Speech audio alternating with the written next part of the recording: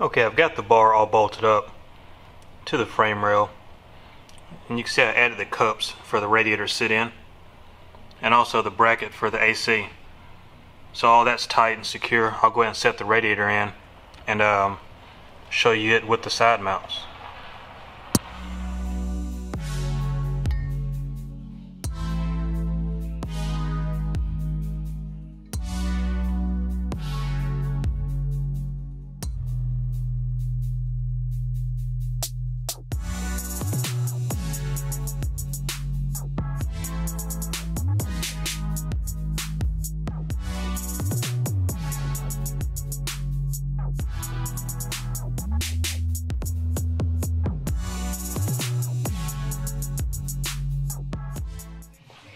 Alright, I've got the um, radiator back out of the car, I've got the hard pipes made.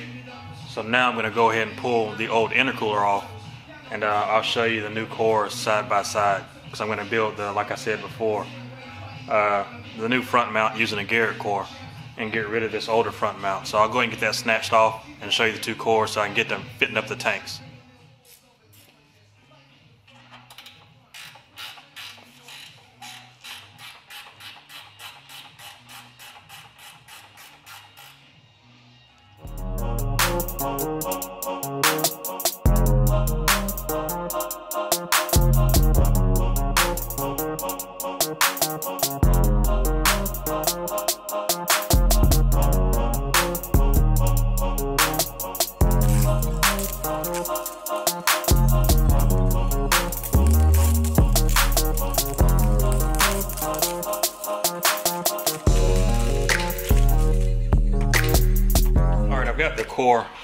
out. I just showed you and the old intercooler off.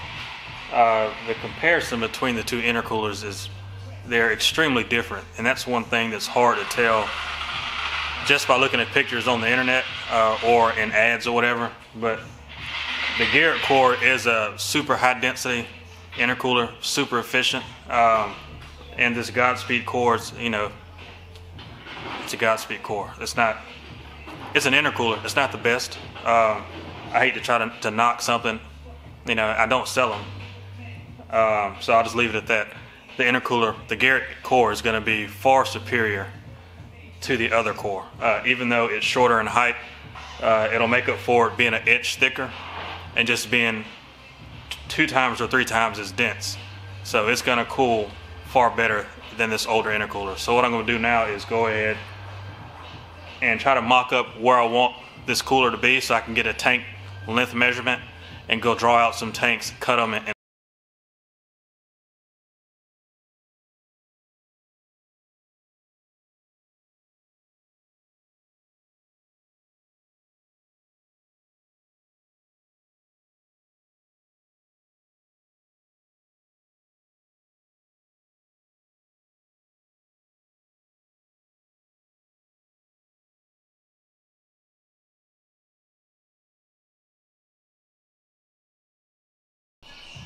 One thing I am going to do is you see that bung on that tank?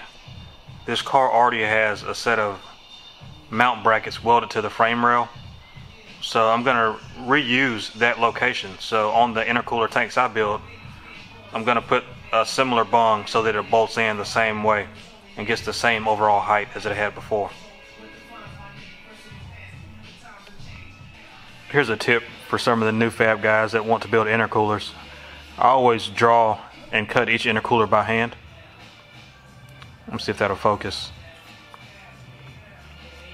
And to get each one exact, the best way to do it is to do them all in one cut pass. That way there's no deviation in between the height of the tanks. So when I get ready to build and break the uh, end pieces, I know the four uh, side pieces are going to be the exact same because I cut them all in one pass.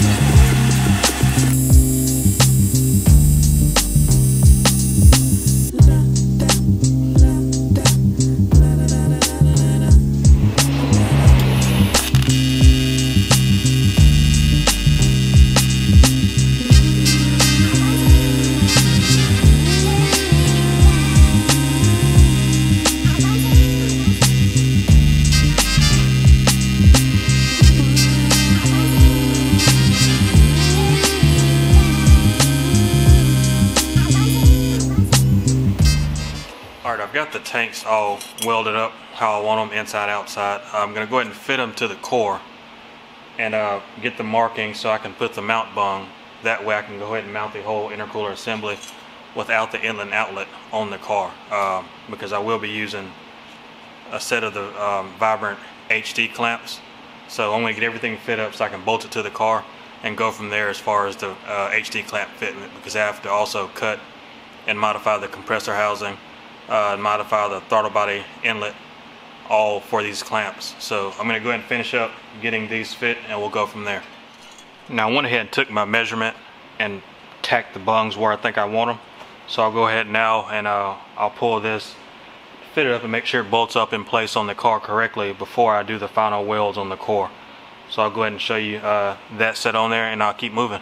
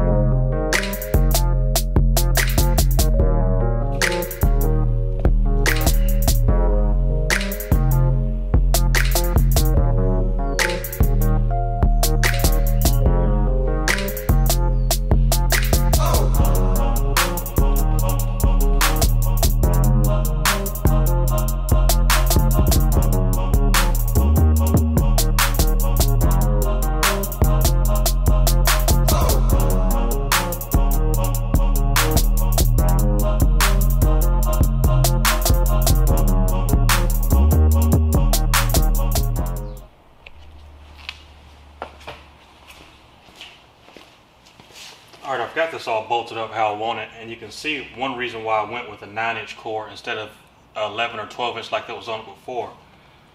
It's because when you're going thicker, you've got this ridge right here, and you've got the shape of the uh, bumper supporter frame rail right here.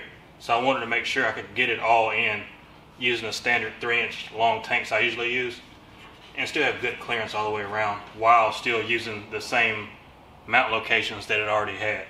So all this fit up well. I'll go ahead and stop right now on it because next I'm going to going to put um, the inlet and outlet on it, which are going to be 90 turnbacks, and use the vibrant clamps on it. So I'll get all that fit up later because this side over here is tighter due to the oil cooler that's on the car. So I have to work my way around that and figure out exactly how I want to do it to make it still be symmetrical. But yeah, that's it. The core and the basis of the intercooler is done. It all still fits well. The AC condenser and the radiator will still bolt up how I wanted to bolt before. So it should all line up well in the car and be good to go.